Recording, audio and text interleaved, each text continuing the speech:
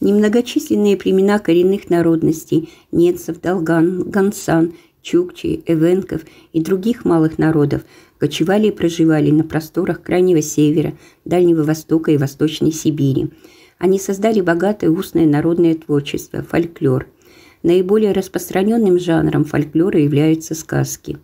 Сказки скрашивали досуг людей, живущих в суровых условиях, служили любимым развлечением и отдыхом после трудового дня – в недалеком прошлом сказки у народов Севера являлись не только развлечением, но и своего рода школой жизни.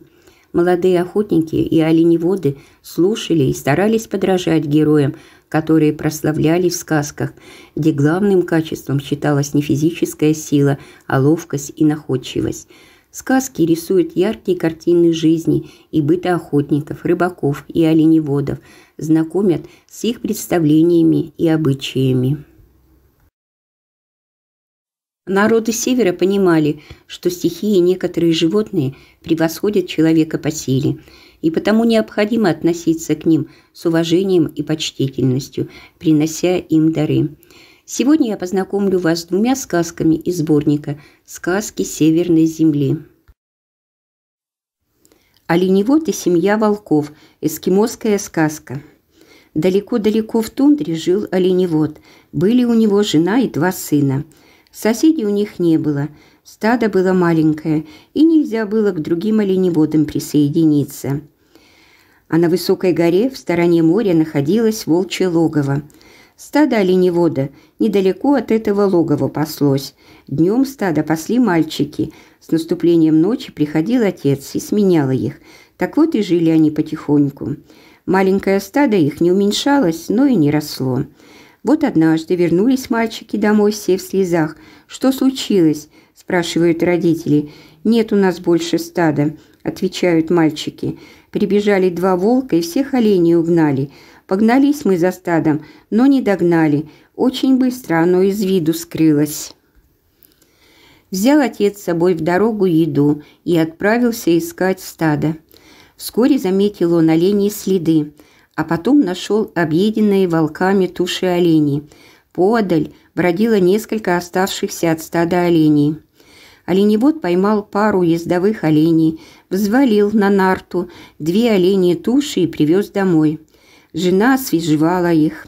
Хозяин снова положил их на нарту и повез к волчьему логову. Подъехал к логову и кричит «Эй, есть тут кто-нибудь? Волки несколько моих оленей убили». Давайте их вместе съедим. Все равно я почти совсем без оленей остался». Вдруг перед ним открылся вход в землянку. Слышит, приглашают его войти. Вошел оленевод, осмотрелся. Перед ним хозяин, старый вожак. «Знаю, знаю, мало у тебя оленей. Всякий раз говорю сыновьям, чтобы не трогали их. А сыновья не слушаются. Это они твое стадо порезали. Садись, подожди, они вот-вот вернутся». Наступил вечер, послышались снаружи чьи-то шаги. «Вот и они. Сейчас я их отругаю как следует», — сказал хозяин. Через нижний вход вошел в землянку статный юноша. У него только-только усики обозначились. За ним второй вошел, совсем еще мальчик. Отец и говорит им, «Непослушные, сколько раз я говорил вам, не трогайте оленей из этого стада. Видите, этот человек угощение вам принес. Вот наступит ночь, отправляйтесь на охоту. Далеко-далеко на севере живет богатый оленевод. У него очень большое стадо, и бродит оно почти без присмотра. Вот и пригоните оттуда оленей и пустите их стадо вот этого оленевода. Ну, я все сказал.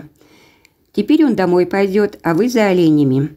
Поешьте хорошенько на дорогу, переоденьтесь и ступайте». Возвратился оленевод домой, говорит жене. Встретили меня волки очень радушно и пообещали помочь мне. Сегодня ночью они отправятся далеко-далеко за оленями и вернут нам наш убыток. В ту пору заморозки уже настали. Проснулись оленевод с женой рано утром. Погода ясная, тихая. Откуда-то доносится легкий постук, похожий на топот копыт а маленькое стадо хозяина паслось далеко от стойбища. Говорит оленевод жене, «Слышишь, топот, как будто стадо оленей приближается. Пойди и посмотри, что бы это такое могло быть. Оделась жена, вышла, видит, подходит к их жилищу большое стадо оленей. «Смотри, какое огромное стадо идет!» – закричала жена. «Видно, очень богатый хозяин к нам прибыл». Подошло стадо к жилищу и остановилось. Вышел хозяин, смотрит, а в этом стаде несколько его уцелевших оленей. Оленевод забил двух оленей и опять тушей отвез в волчье логово. И так каждый раз забьет оленей и отвезет пару волкам. С тех пор стало у него большое стадо. Другие оленеводы, у которых было мало оленей, стали к нему присоединяться. Стадо это паслось само. Охраняли его волки. Большое стойбище выросло на месте старого кочевья оленевода.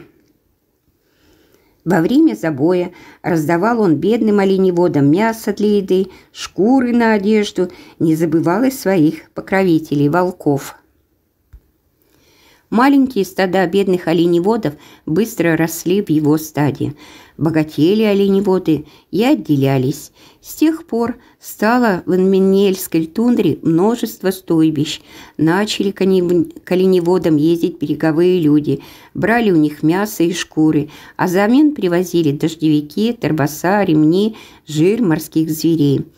Сыновья оленевода выросли, женились. Много у них детей народилось. Еще больше стало в тундре оленеводов. Всем известно, что медведь всегда большим и сильным был. Никто спорить не станет, что красотой движения он никогда не отличался. Но одно дело, когда ты просто неуклюж и неповоротлив, а совсем другое, когда ты грубиян и невежа. Раньше медведь никому житья не давал. Очень звери страдали от него. То он громко рявкал на весь лес и пугал кого-нибудь своим ревом и рыком, то придавливал маленьких зверюшек и птиц, не обращая на них никакого внимания, то ломал деревья и разорял гнезда, сделанные с таким с трудом. Многих обижал медведь. Никогда медведь не просил ни у кого прощения, не считал себя в долгу у тех, кому он навредил. Пытались звери как-то унять хозяина тайги, но он и слушать не стал. «Не учите меня», — ответил. «Я сам знаю, что хочу, то и делаю». Наступила осень, с деревьев шумом летели пожелтевшие листья. Пора было подумать и о зиме. Задумались звери, как быть с медведем. Если он также будет вести себя, то до добра от него не жди. Со всей тайги дружно собрались звери и птицы на свой суглан совет, заполнили большую поляну, сели на деревья, на камни, на пни. Собрались решать, что делать с грубияном. Устроили над медведем суд. Судьей избрали Сахатова. Много обид высказали большие и маленькие звери. Шум стоял такой, что, казалось, поднялся ураган – Медведь никогда не слышал такого шума и впервые испугался, сжался в комок. И вынесли звери приговор – наказать медведя, чтобы он был в заточении всю зиму. Вот как подует северный ветер, да сорвет листья с деревьев, чудится медведю тот ужасный шум. Закроет он уши лапами, сожмется весь, да и спрячется к себе в берлогу. С тех пор наказание за свою грубость косолапый не ходит по тайге зимой, а спит в берлоге, свернувшись комочком и сосет лапу. Дорогие друзья, познакомившись со сказками, подумайте, о чем они, чему учат. И, как писал поэт Владимир Маяковский, сказка сказкою, а вы сделайте из сказки вывод –